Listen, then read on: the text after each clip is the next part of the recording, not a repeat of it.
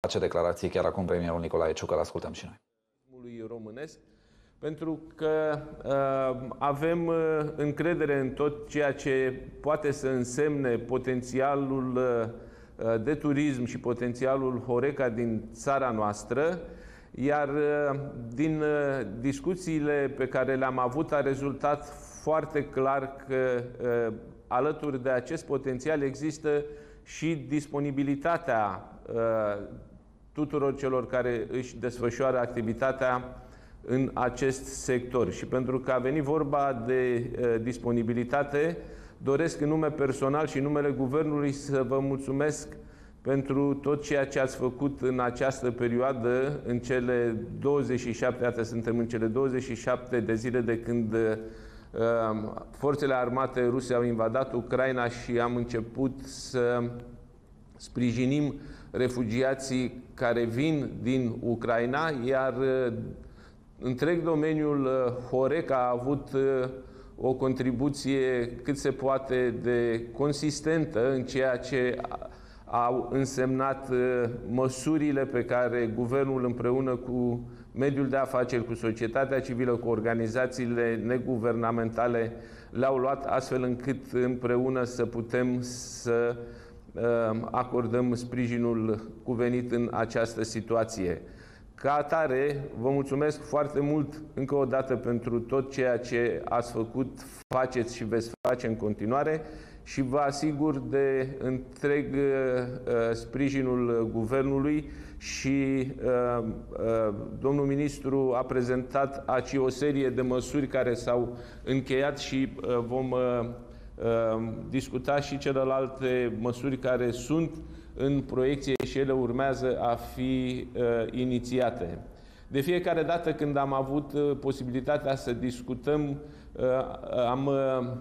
avut în vedere faptul că nu este exploatat în întregime potențialul pe care țara noastră îl are și um, în acest sens cred că uh, este foarte clar pentru toată lumea că avem la dispoziție uh, atât fondurile de coeziune, cât și fondurile din PNRR, cât și fondurile din cadrul uh, financiar 2021-2027. Sunt fonduri care sunt la dispoziție de la nivelul Uniunii Europene și pe care ar fi uh, păcat să nu le uh, folosim cât mai eficient posibil. În acest sens, doamnelor și domnilor, vă încurajez să continuați să analizați care sunt cu adevărat elementele de efort, elementele de linie pe care putem merge împreună cu dumneavoastră și să uh, reușim să eficientizăm tot ceea ce înseamnă uh, Uh, partea aceasta de sprijin a domeniului Horeca, a turismului în general, în condițiile în care, iată, vorbeam de agresiunea uh, care uh, se petrece la granița noastră și există această tendință ca oamenii să creadă că, că se pot confrunta cu o anumită stare de nesiguranță. Ceea ce vreau eu să spun acum și ceea ce cred că este foarte important de menționat este faptul că România este o țară sigură și România trebuie să continue să-și dezvolte toate uh, elementele de potențial astfel încât turismul să uh, joace acea pondere în interiorul produsului intern brut pe care uh, dumneavoastră, cei care uh, vă, desfășurați, vă desfășurați activitatea în domeniul Horeca, vi l-ați propus ca nivel de ambiție. Ne place foarte mult să uh, uh, discutăm și de fiecare dată aducem în discuție ceea ce domnul Anastasiu uh, uh, spunea uh, cu, nu cu mult timp în urmă faptul că avem posibilitatea ca uh, prin turism, uh, prin domeniul Horeca să ajungem la o contribuție de aproximativ 10% din PIB. Nu suntem acolo. Dar faptul că ne gândim, faptul că împreună căutăm măsuri, faptul că împreună uh,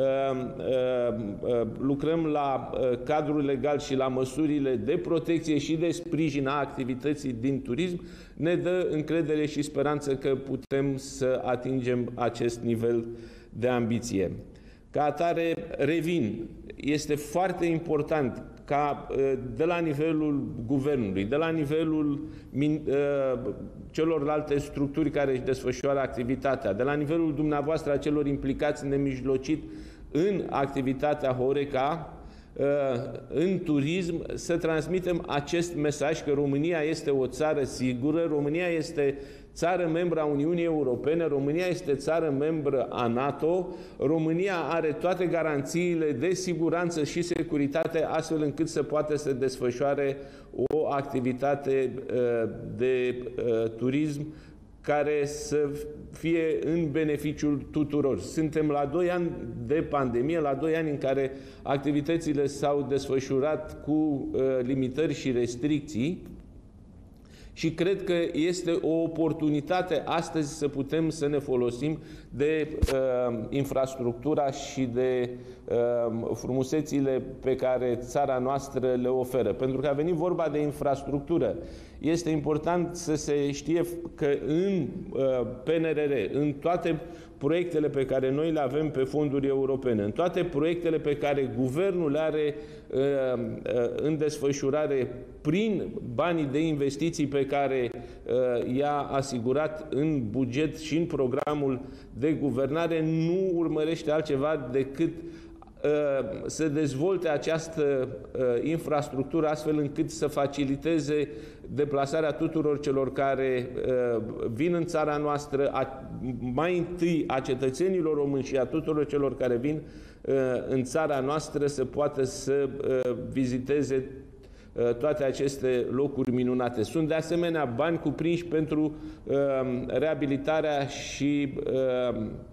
modernizarea o serie întreagă de uh, obiective, a o serie întreagă de uh, situri, o serie întreagă de uh, locații unde se poate face cu adevărat turism, pentru că avem o istorie îndelungată, avem tradiții, avem tot ceea ce uh, poate să uh, însemne interes pentru turism și pentru ca uh, cetățenii uh, români cât și cei Uh, din afara țării să poată să vină și să beneficieze de aceste oportunități. Um, încă o dată, aveți toată susținerea noastră, uh, dialogăm de fiecare dată când apare o problemă, dialogăm de fiecare dată când aveți o uh, idee sau o propunere.